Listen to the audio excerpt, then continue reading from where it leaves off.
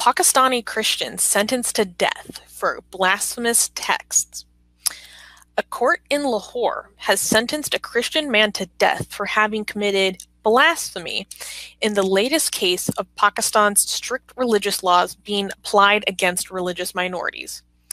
As, uh, Asif Pervaiz, uh, 37, has been in custody, been in custody since 2013 when he was accused of having sent, quote, blasphemous texts to a former supervisor at work. Speaking in his own defense in court earlier in the trial, trial, uh, Pervaiz claimed the supervisor confronted him after he quit work at the factory. And when he refused to convert to Islam, he was accused of having sent blasphemous texts to this former supervisor. The court rejected his testimony and sentenced him to death. Pakistan's strict blasphemy laws prescribe a mandatory death death penalty for the crime of insulting Islam's prophet Muhammad and strict penalties for all other infractions such as insulting Islam, the Holy Quran, or certain holy people, aka the Sahaba or companion okay, not, prophet. Not that it matters because blasphemy is a bullshit crime, but a lot of these accusations that are being taken seriously doesn't even have an people don't even have evidence for the blasphemy taking place. No, like they don't, right? No. So basically, but but now even though with no evidence, now this guy is sentenced to death. Death. He but, has been in. He he was been in prison since 2013 over this. For no evidence, and somebody is like, "Oh, convert to Islam," and you're like, "No," and like, "Okay, I'm gonna accuse you of blasphemy," and you're like seven years in prison now, and now you get a death sentence, even though there's like, and now because it's working, like this has been going on for a couple of years, and now this uh, Pakistan is escalating because people see that it's working, and you could just accuse people of blasphemy with no evidence and the court takes it seriously. So everybody's being accused of blasphemy, and because every now anybody that has like an issue with somebody else, they could just accuse them of blasphemy. Like we had like how many cases of blasphemy in one month recently? Last week we've reported 47. I think it was 42. Right? Last week, we reported that 42 cases of blasphemy have been registered in the previous 30 days before we had reported on that. There are more since then. I follow a guy on Twitter who regularly documents every blasphemy case he comes across in Pakistan and ongoing cases day by day by day by day by it's day. like like you're you get the blasphemy charges, you get blasphemy charges. And Everybody gets accused of blasphemy. And like what the hell? Look under your seat. What is it? It's a blasphemy charge. What? Oprah. Yeah, you're kidding. um, what the, no, what it, the fuck is happening to Pakistan? Like it keeps getting worse and worse. I think we should have Haris Sultan or Abdullah Gondal on the show soon particularly Abdullah Gondal, to talk about what is going on in Pakistan right now. Because there might be a bigger picture that I'm missing, but things are accelerating and they are escalating at a severe rate in Pakistan right now.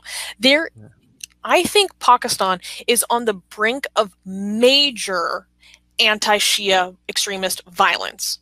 Mm. There are major anti anti-Shia extremist um, protests happening in Pakistan that I was, was watching on Twitter literally today. Um, and the, what we reported on last week with um, these 42 cases that have been registered in the previous 30 days was the majority of those cases were against Shia in a classic Sahaba versus Ahlul Bayt type of um, conflict. There, um, it's it's severe and it seems to be accelerating the persecution of religious minorities and i think i'm missing a factor of like why it's happening so quickly and so severely right now. Because it works because of the for the past seven years now people are saying like hey we like they, this guy's getting a death sentence even though we didn't provide any evidence. Like who else i don't like that i could accuse of blasphemy now? Like actually one thing i forgot to mention is that um, it is most often um, only typically religious minorities who are actually given the death penalty for blasphemy. Um, if you can still be charged if you're not a religious minority, but you're less likely to get a death penalty. It should also be noted, for sake of being fair, that so far no one has actually been, um, no death penalty for blasphemy has so far been executed in Pakistan, right? Yeah. It's come close, but just because it hasn't happened yet does not mm. mean that we are not going to highlight it because we are never. A lot of people have died first. No, no. no. So people have so also been come after by the mob itself. It doesn't matter if it's being executed by the state, like Mashal Khan. The mob, the people will lynch you themselves. You are often safer right. with the police. That's how severe yeah. the situation is. So for most, there's been a lot of deaths because of blasphemy in Pakistan, but most, all of them, the government didn't even get a chance to kill them because the mob took care of them for the government, right? Um, so it's so bizarre because, like, you go on, Susanna. Like, for example, within the past month, Tahir Nasim, a U.S. citizen who was tricked into returning to Pakistan because he was an Ahmadi Muslim who claimed to be a prophet, he was shot dead in the middle of court hmm.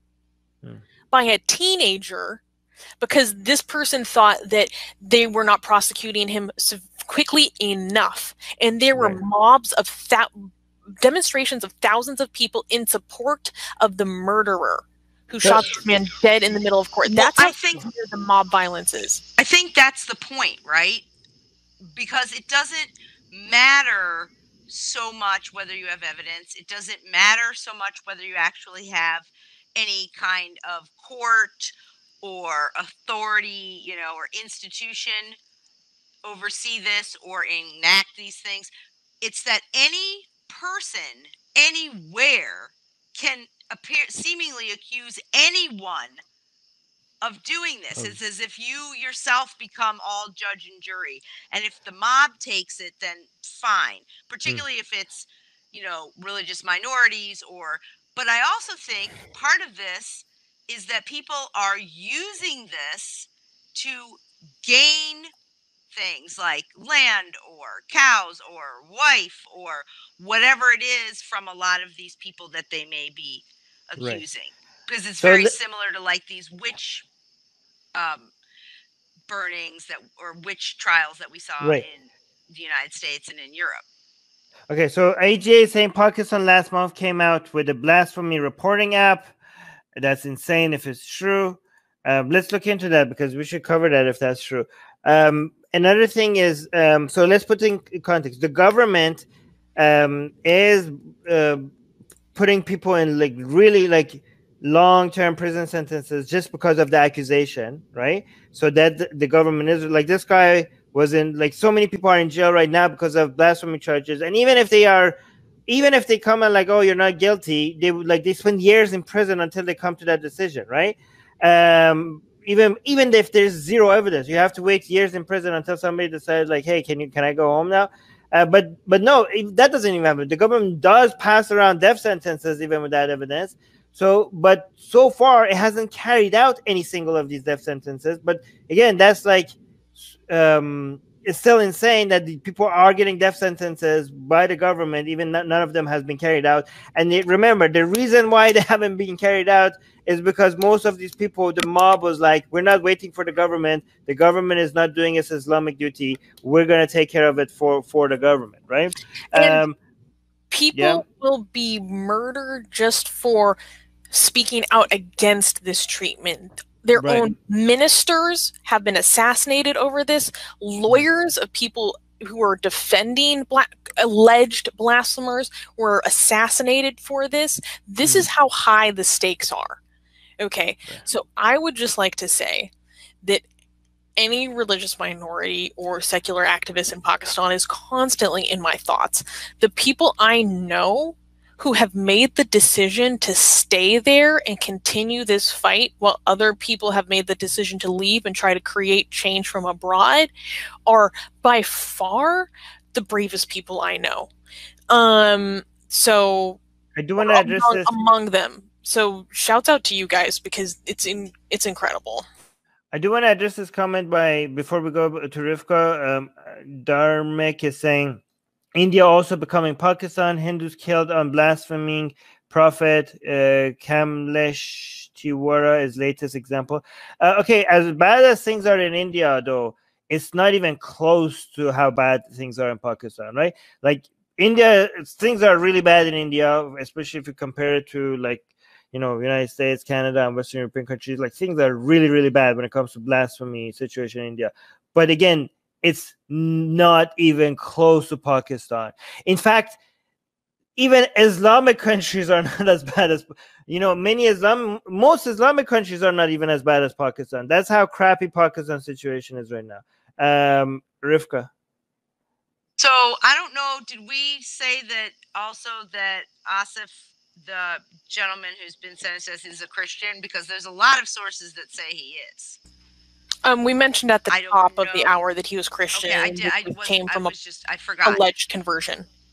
Yeah, attempted um, conversion. But I don't know if this is actually the case, but some of the reading I was doing on this was quoting Saif Al Malook, who was also Asia Bibi's lawyer, um, about this guy. And some says that he's his lawyer, and some it's hard to tell. I can't some because sometimes I think they might be translated and it's not always clear.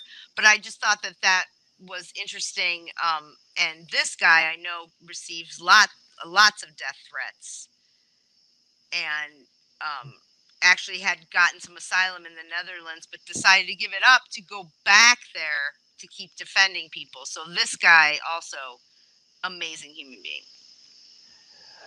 Um. Okay. So Shriya was also saying India is on the path to pa- of Pakistan. Again, I don't think so. Again, as bad as things are in India, I don't think any country will ever be like any country that is not already as bad as Pakistan will ever come to being as close to as being as bad as Pakistan, right? So again, like guys, like um, I do think like a lot of people in India you know, just like in United States, they come, you know, whenever you say shit is stuff bad other places, they might exaggerate how bad things they are in India. Again, I know things are bad. Uh, how I know things are bad in India. I've experienced. I've experienced how bad things are in India. We know a thing or two. We know a thing or two about how bad things are in India, but I don't. I still think that it's it's important to keep things in perspective. Things could things are bad, but they're not that bad. Like that is really bad. Okay. Anyways, um, wait, let me see. The whole Bangalore city burnt on, on a blasphemy done to a prophet. Okay, okay, okay. All right, we're gonna don't worry, guys. We're gonna whenever this shit happens in India, we're gonna cover it. So you can be sure about that. Okay. And in fact, we did cover that riot in Bangalore, and I'm so oh. tired of Hindutva apologists coming at me on Twitter talking about what about this? Like we talked about it, okay? Yeah, our both sides so good. Don't get me started. Don't get me started. Okay. Yeah, every every time we every time we cover Pakistan, people are like, "But what about India? Have you looked at India?" And every time we cover India, you're like, "What about Pakistan? You're not going to talk about Pakistan?" I'm like, "God damn it, we we cover both. We cover both." Like Jesus, we got a new member. Oh, uh, Truth Seeker, thank you, Truth Seeker. Welcome to Satan's minions. Hmm. Thank you, thank you, Truth Seeker. Um, okay, news. Thank you for joining us. Subscribe to our channel. Hit the bell thingy. If you haven't, I don't know why. What has what's holding you back? Okay, if you haven't subscribed to our channel, why haven't you subscribed to our channel? Explain that to us, please.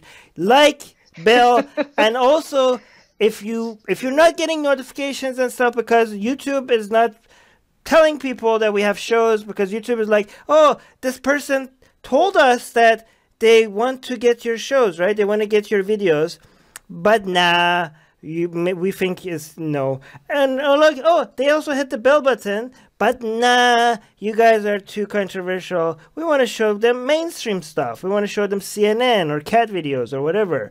But people are people like, no, we want to see Atheist Republic. And YouTube is like, no, we don't think you want this. They're like, no, please show it to us. We say to you, we want to see Atheist Republic. And YouTube is like, no, we think we know what's better for you than you yourself. So, to solve that, link there's a link in the description, uh, which is to our newsletter. So hopefully some of it, we could email it to you. So hopefully you get some of our content that way, okay? So, yeah, subscribe to our newsletter as well and share share our videos because you know, we do get demonetized. That's an obvious on every one of our videos. So, f that. But we don't care about that anymore. but we also get deprioritized, and that's even more damaging to us. Deprioritized. What does that mean? That means we're not. We don't show up on the suggested, you know, videos on the right, and all that, you know, on the on people's homepages. And that's how channels grow.